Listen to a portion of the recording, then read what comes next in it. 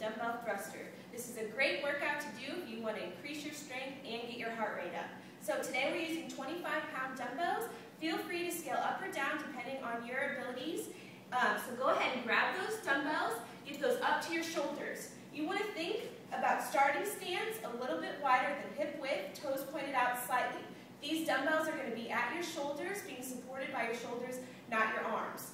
Get those up. You're going to think about squatting all the way down, hips and butt back.